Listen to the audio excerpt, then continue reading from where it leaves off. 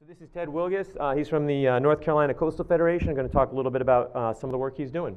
Thank you, Ted. Good morning, everybody, and uh, thank you very much to uh, Oyster South and uh, Bill and Beth for letting us come to speak to you, and thank you for listening. Um, just wanted to talk a little bit about um, what all the stakeholders here in North Carolina are doing with oysters um, and looking kind of comprehensively at some of the things that you all are, are talking about. Um, and just try to sort of share some of the things that, that we've learned, some of the successes, and also thank you all for a lot of the, the uh, input that you've given us in North Carolina from your lessons learned. Um, let's see if I can do this. Okay. Thank you. Um, so again, you know, we've all seen the ecosystem services slide. Um, what's kind of come to our attention here in North Carolina is that what's opening doors kind of in the current political climate with our North Carolina General Assembly are, are mainly the dollars and jobs. And so um, we were able to talk to our legislators with a lot more success, um, thanks to the growers who are coming up and saying, you know, I am growing this product, I'm generating income, I'm generating um, tax dollars, I'm generating jobs in our coastal counties, many of which are tier one, low economic development areas. And so that's really helped us um, open doors and start some of the discussions that were unable to open before. And again, many of you all have seen similar slides as this. Um, you know, these are happening across the region. Um, and North Carolina's kind of response to this initially was, you know, get more material in the water, look at the diseases, look at regulations, um, and that's kind of the approach. Um, and luckily, we've got a division of marine fisheries that's been very proactive and willing to work with a lot of stakeholders. And starting in the early 2000s, um, a lot of the um, groups, the stakeholders, ranging from growers to regulators to researchers to NGOs, started coming together and trying to look at all the different kind of strategies that were being employed out there, ranging from fishery management plans to regulations, to see if we could kind of pull out key aspects of those and sort of move them forward as one vehicle, um, looking to sort of try to address comprehensively how to restore oysters in the sense of restoring both the habitat as well as the fishery and the industry and the water quality. Um, and North Carolina just hadn't seen much of a mariculture growth, primarily due to um, some of the regulatory barriers that are out there. It was very hard and very expensive to get a lease in North Carolina. And so, with the blueprint that um, came out in the early 2003 and has been kind of renewed every five years since then, is trying to basically look at all the aspects we need to have healthy oyster population and the resulting benefits from those. Looking at water quality, economics, you know, building sanctuaries, putting culture out for the wild harvest, um, management, and then growing the mariculture industry. Those are all the things that we're trying to sort of track together so that they're linking and supporting each other as we go. And um, this is all stakeholder driven. Um, you know, the Coastal Federation, we're just kind of like the Wizard of Oz, the man behind the curtain sometimes. Um, it's primarily all the stakeholders, the growers like you all that are out there, um, the agencies, the researchers, um, and we're just trying to sort of help kind of move the process along. And that's the only way to work. I mean, you see DOT there, the Chamber, Chambers of Commerce, the Department of Commerce, all those people have to be involved if we're going to be able to grow our oysters and keep our water quality good enough for us to harvest and eat them. Um, in North Carolina, we've been working on our sanctuaries, as described earlier, up in the northern part of the state, growing those.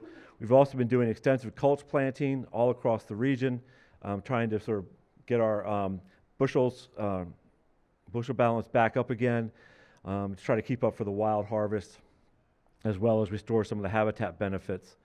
Um, and now what we're seeing is the mariculture is growing. Um, previously, we had seen very few farms. Most of the farms were bottom leases. Um, and now we're starting to see increasing numbers of water column leases. We're seeing higher production levels, and it's through the hard work of the growers.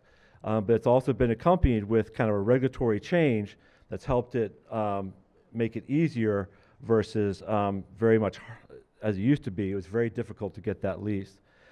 Um, as part of that, um, we started, we uh, launched into what's called a Shellfish Initiative, and it's, it's, it's a statewide model, but it's modeled after um, the National Shellfish Initiative that NOAA put out um, to basically increase the population of shellfish.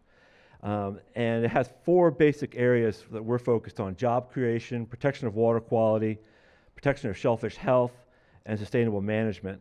Um, and North Carolina, we're the sixth state to have a shellfish initiative.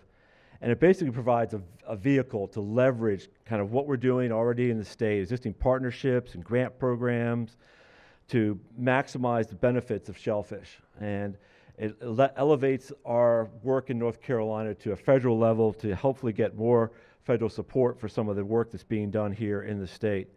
Um, and it's a way to look at using shellfish as a way to help promote and maintain really vibrant and healthy coastal communities. Um, and so that kind of kicked things off, and we used sometimes the term the Napa Valley of Oysters. And I know some people may take offense at that, thinking their state's the Napa Valley of Oysters. But where that came from was Rowan Jacobsen. Um, we invited him down to an oyster meeting in North Carolina, and he had recently um, finished a book, The Geography of Oysters. And he traveled all across the area looking at um, oysters and really describing you know, how they reflect the area. And it was a beautiful book, but there was no chapter on North Carolina. Um, essentially, skipped North Carolina, and a lot of us took offense. Um, and so uh, we invited him down to explain why. And you know, he just said there wasn't, there wasn't the growth. He said, but you all could be the Napa Valley of oysters based on the water quality, the different types of water we have, um, the diversity. Um, so the opportunity is there. And that's kind of where that term came from. And a lot of people have sort of latched onto that as the potential that we could see. Um, and then, um, thanks again, a lot of support from the growers in North Carolina who worked hard to um, open doors of legislators and others um, to say, we need help, we need support. And so um, General Assembly worked with what's called the UNC Collaboratory to support the um, strategic plan for shellfish, um, strategic plan for shellfish mariculture for North Carolina. Um, and we really want to thank a lot of you in this room and other states who helped sort of develop that plan by giving us your kind of lessons learned, things to avoid, what worked, what didn't work, because we were able to learn a lot from what you all have already experienced. So we appreciate your support and your input and your guidance for this. Um, but it was a very much stakeholder driven process. And they came up with essentially 21 recommendations um, out of this mariculture plan that was just finalized last year. And it envisions uh, potentially a $100 million industry for North Carolina, um, considering $33 million kind of farm gate value. And it emphasizes supporting growers through crop insurance, low, insurance, low interest loans, and disaster relief. Uh, Hurricane Florence, as many of you all know, was a uh, disaster in North Carolina, and growers are still recovering from that. And so, looking for ways to help growers um, withstand those kind of things. Um, looking at marketing and promoting, as you heard about the, with, the, with the um, Oyster Trail in North Carolina, that's one tool. Looking at uh, doing a market analysis, looking at working more with the, with the North Carolina Agricultural Consumer Relations Department. Regulatory, looking at providing more um, flexibility within our regulations, as well as giving um, leaseholders, growers more of a voice in some of the um, Marine Fisheries Commission um, processes. Statutory changes, looking at things like shellfish enterprise areas, where um, the Division of Marine Fisheries will essentially designate an area, um, one acre, five acre, that they would actually get set up for leases, and then people who are coming into the industry could essentially take over those leases for a certain number of years learn, and then they would be able to go on and do their own farming as one tool. Um, and then finally, supporting all the research through um, trying to increase the amount of money available through Sea Grant and other vehicles for um, industry research. And all this is based on basically seeing, you know, kind of what's happening in North Carolina. The growth is, is explosive. It's very exciting for the shellfish growers. It's also a challenging time. You know, there's a lot of, as some of the panels have talked about, the NIMBYs, not in my backyard. Uh, there's a lot of conflicts. But again, from lessons learned from other states, we're trying to do the best we can, and the growth potential is huge. Um, the big concern, um, and sort of one of the things we're talking a little bit about, is that what we're seeing is, you know, we're growing these oysters, but the coast is changing. We're seeing um, development, especially here in North Carolina, and I'm sure in your areas, um, very large changes in the hydrog- hydrology of the land. Where it used to rain and the water was soaking to the ground, it now runs off. And what we're seeing are increasing areas of, of shellfish closures, especially here in the southern coast of North Carolina. Um, thank you. And one of the things we are trying to address is by doing watershed restoration plans. So you're looking at your really high quality growing areas where you have a lot of resource, a lot of potential for uh, the wild harvest as well as the, um, oyster farmers, and see if you can actually work on a watershed scale to reduce the amount of water coming into that um, growing area. And what we did is we looked at two creeks here in, um, in Wilmington area, Hewlett Creek and Bradley Creek. We went back to 1981 and basically through modeling tried to figure out how much rain came off that land during a rainstorm based on how much of that watershed was developed with impervious surfaces. And that's what it looked like in 1981. And if you look at the hydrograph, we'll go through it's just a series of changes. If you look at the red, um, right down here, that's the closure line of the creek. And if you look at the hydrograph, as the hydrograph change, you'll see that closure line move out and get larger. So as the area develops more, you get more impervious surfaces, the hydrograph changes, you're getting a lot more water volume into the estuary, and that closure line moves out farther and farther. And so what we're trying to do is, can we, can we essentially reduce that a- area where we're starting to reduce the amount of volume of water going out of the, uh, off the land into these creeks and these growing areas? And so um, there's a lot of great tools out there. UNCW's created their, um, their benthic, um, the benthic lab, the um, oyster siting tool, which has been a huge help for a lot of growers coming in, as well as managers.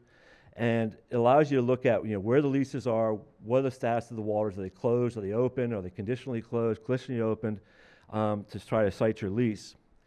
And what we're trying to do is, at the same time, we're working on you know, supporting growers, building reefs, we're also looking at these watershed restoration plans and trying to encourage people to look at ways to reduce stormwater so that we can have our oysters um, and good water quality as well. Um, and so there's a lot of different uh, projects out there ranging from municipalities to golf courses to homeowners where everyone's essentially trying to do their part. And one of the things that's brought together are oysters. Uh, sometimes you'll talk to somebody and their eyes will glaze over. You talk about water quality, but the minute you talk about an oyster, they get really excited. And so they realize that, hey, if I have a rain barrel on my property, I'm protecting the oyster I love to eat. So we range on different scales, but that's essentially what we're trying to do, again, through all these different stakeholders. And so my last slide is, you know, a lot of you all are aware of all the hard work that you put into your work. You know that translates into jobs, it translates into money, it translates into ecosystem benefits from your farms. And what we're trying to do is take that and use that, have it open doors um, so that we can talk about other issues ranging from regulatory to water quality to getting more money into the system to support growers, to support water quality benefits. But the biggest thing that helps us are the growers. The growers are they're opening the doors, they're talking to um, regulators. When I, when I stand in front of a legislator, they're not as interested in me, but when they have a grower who's got you know, jobs, economy growing in their county, which doesn't have a lot of resources, they're very interested in talking to that grower. Um, and so the growers that are standing by us are huge allies in that. So I want to thank you for your efforts, but also encourage you, if you're not an advocate for clean water, um, there's a lot of ways you can be, and we'd certainly like you to reach out to the people that are trying to do this and, and support you. And, and if you can support them, it'll help us all. So thank you all very much.